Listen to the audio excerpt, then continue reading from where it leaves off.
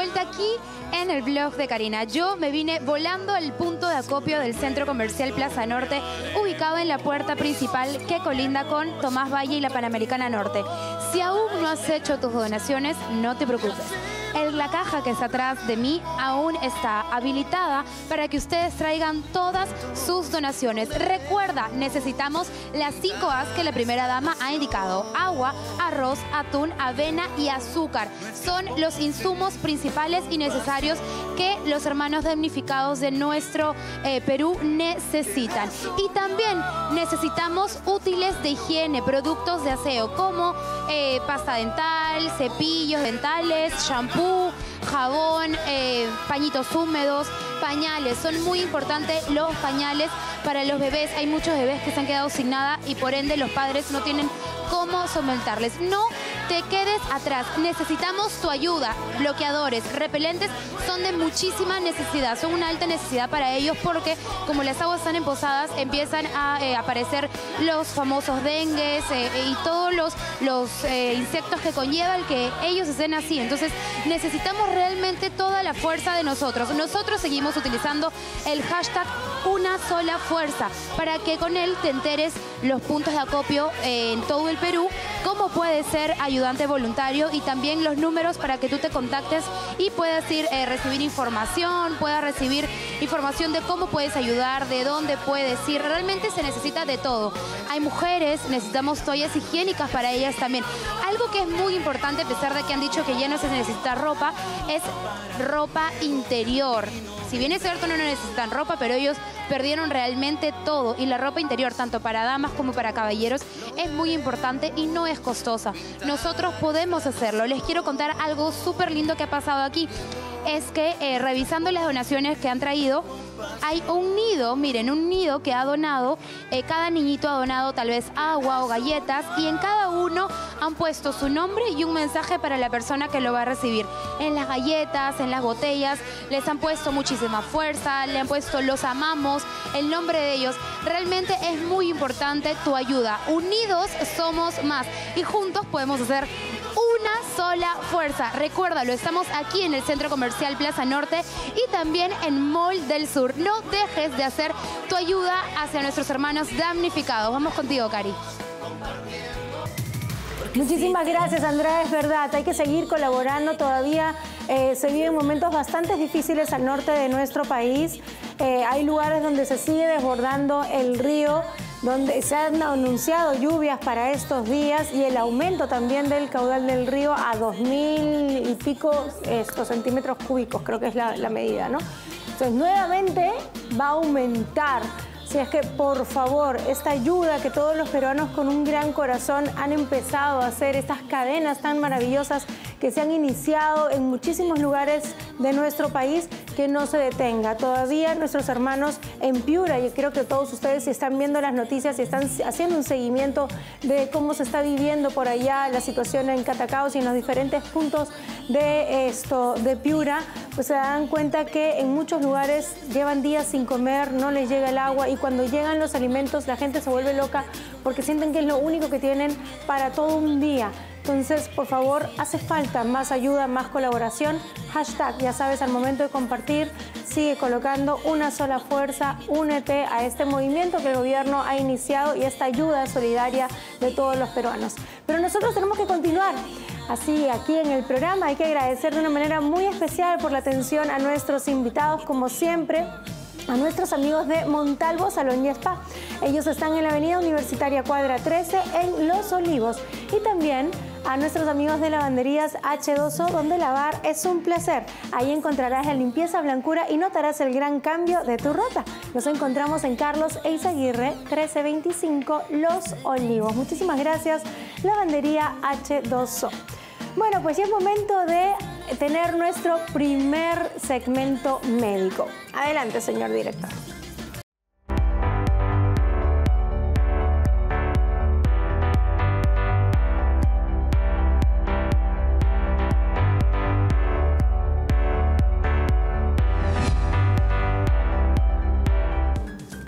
Bueno, pues y ahora sí estamos muy bien acompañados del doctor Milko Garcés, cirujano oncólogo, mastólogo de la clínica Montesur.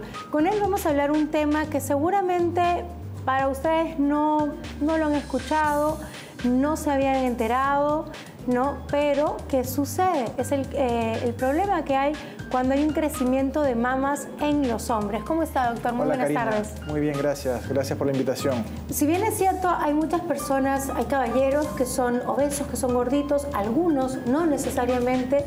Se puede notar a través de la ropa, del polo, que tienen las mamas desarrolladas.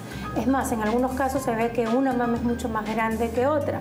Algunos por ahí dicen, ah, es que estoy gordito, la grasa se me va también al seno, pero hay que tener cuidado. Sí, en verdad, el crecimiento de la glándula mamaria en el hombre se llama ginecomastia.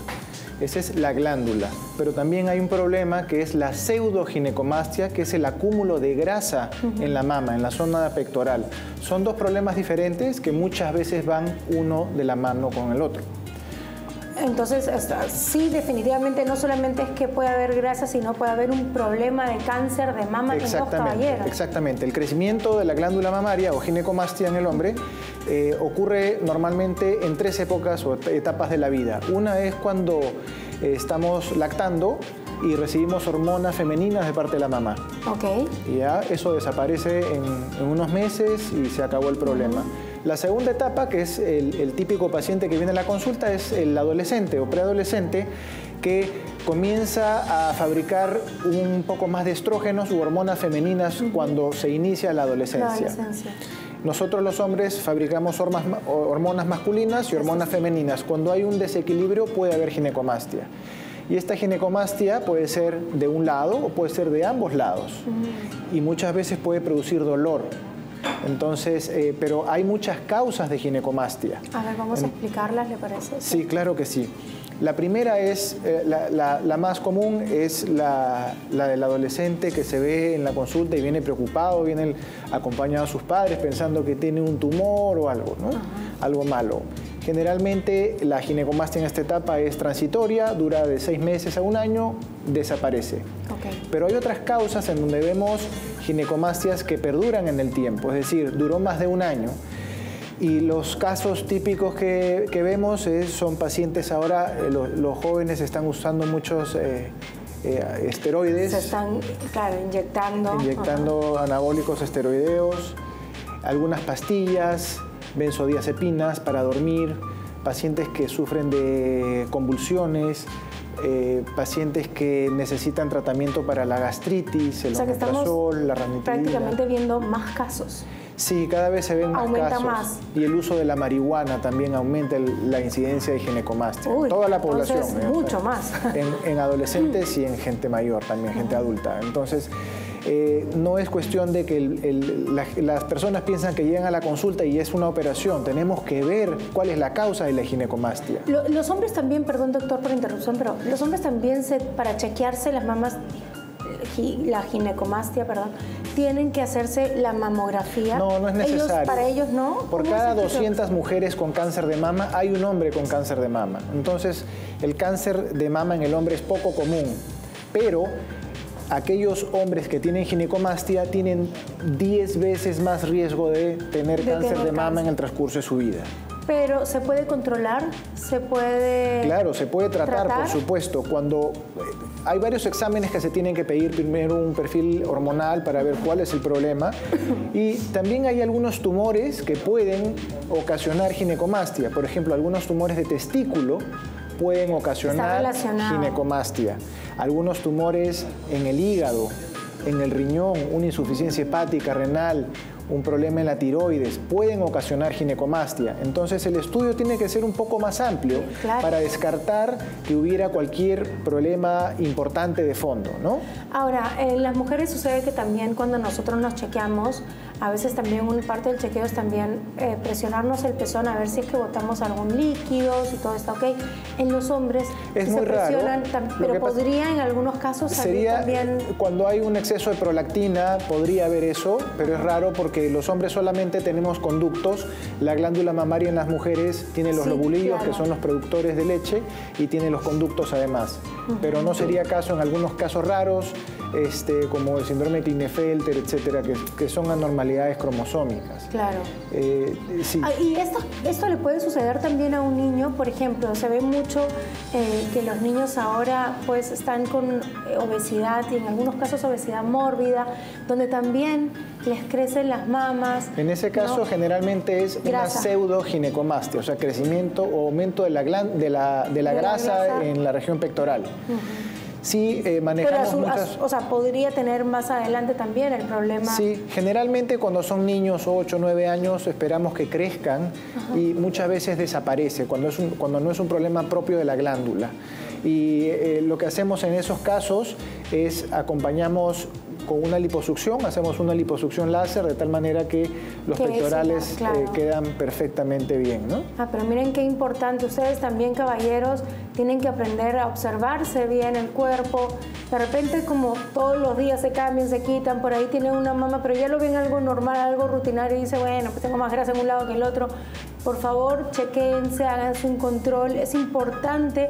Los hombres son un poco flojos a veces para los chequeos o temerosos. Más que flojos, creo que son temerosos. Y, y en, esta, en esta patología muchas veces hay hasta un poco de vergüenza porque dicen yo Claro. que soy hombre, macho, ¿cómo voy a tener un tumor en la mama? Eso no puede ser y lo dejan pasar. Y muchas veces terminan teniendo un cáncer de mama y lo dejan pasar, lo dejan pasar meses, años hasta que ya pues tenemos un Y tumor cuando grande. ¿no? los hombres tienen esto, tumores, tienen cáncer de mama, ¿el tratamiento de la operación es, es igual que en las mujeres? Eh, bueno, ¿Hay el- una mastectomía? el- eh, la- con las mujeres tenemos otras opciones. Podemos conservar la mama, podemos levantar Claro, los senos, caído, podemos hacer claro. otras cosas. ¿Y con En los hombres, como no hay mucho tejido y el tumor generalmente está inmediatamente detrás de la areola, entonces o es sea, también poco- hay pérdida de la areola también. Sí, generalmente terminamos haciendo una mastectomía, ¿no? Pero bueno, para los hombres también hay... Pero en verdad no se nota tanto. mucho, no, no, no es como una mujer que puede tener Claro, un, porque un- por el un seno tamaño, el- mediano y al otro lado eh, uno es una operado, cicatriz ¿no? nada más, ¿no? Claro, pero miren qué interesante, realmente súper bueno el tema que acabamos de, de hablar.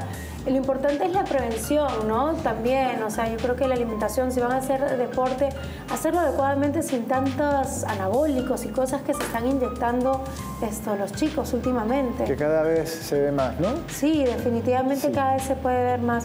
Pero también hay, y creo que en la otra vez esto lo conversamos, doctor, esto, a este examen para saber si es que nosotros en algún momento de nuestra vida vamos a reaccionar y, y también hacer un, un cáncer de mama. Por ejemplo, los caballeros, el examen de sangre. Hay, hay est- estudios genéticos eh, que se pueden hacer para ver si es que tenemos alguna normalidad en algún cromosoma que nos predispone a tener cáncer, no solamente cáncer de mama, melanoma, cáncer de...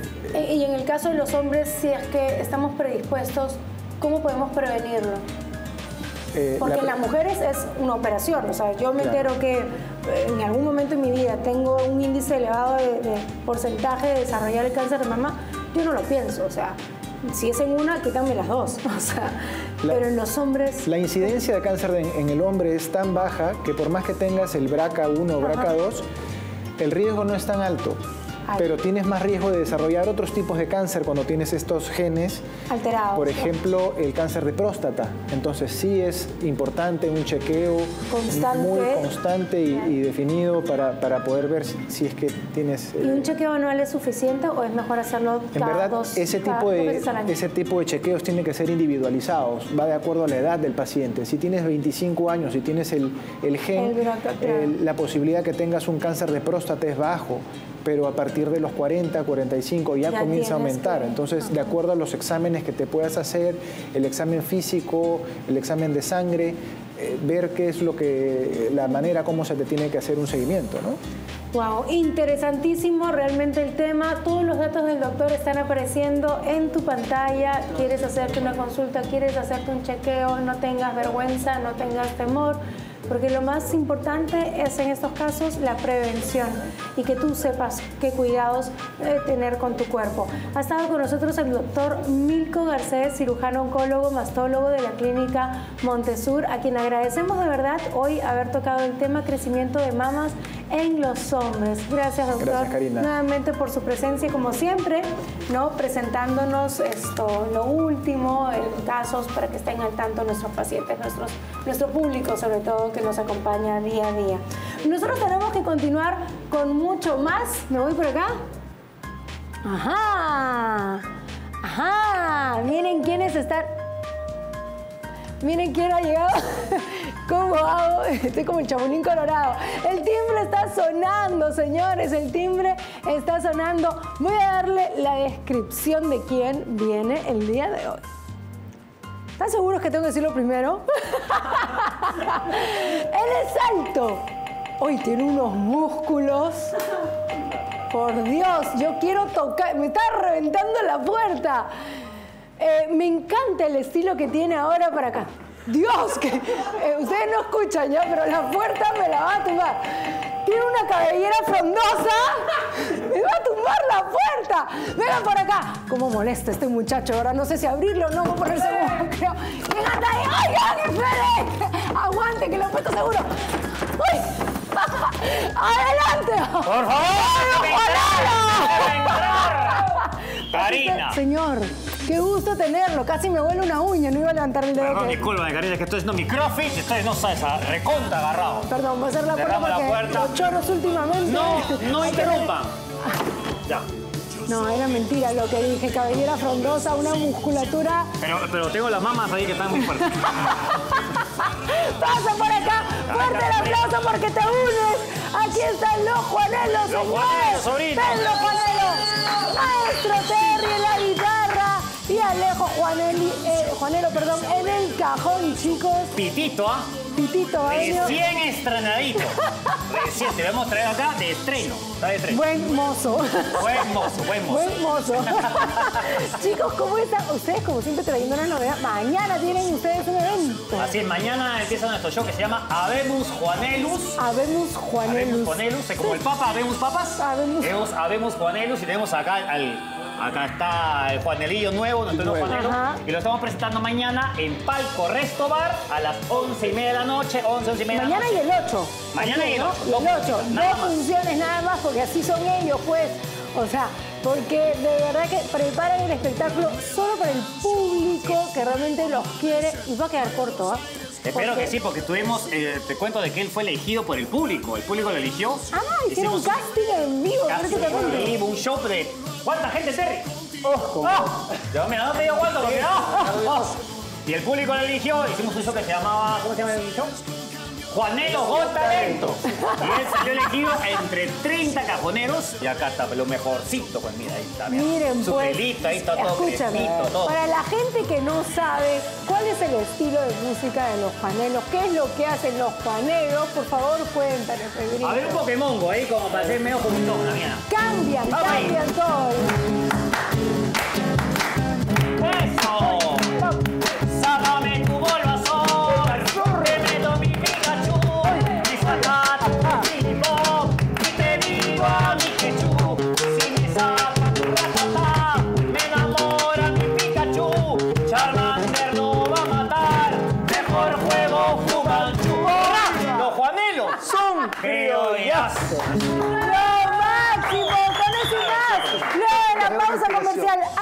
Apenas le estamos soltando a ustedes un poquitito nada más para que sepan qué es lo que sigue aquí en el blog de Karina Jarana. Está acá con los Juanelos asegurados. Volvemos. ¡Chiqui, chiqui, vamos! ¡Eso! Ah, también. Chiqui, chiqui, chiqui. Shiki, Shiki, shiki. shiki, shiki. Shiki, shiki, shiki. Tú lo ves. Dale otra vuelta,